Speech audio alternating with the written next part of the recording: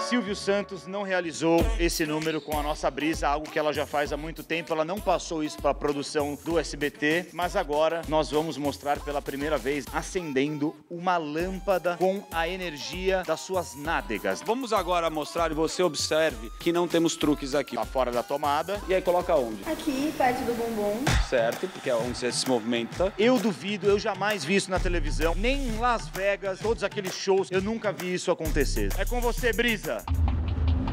Cara, cara, será que vai acender essa parada, mano? Ainda nada. Tá aumentando, ainda nada.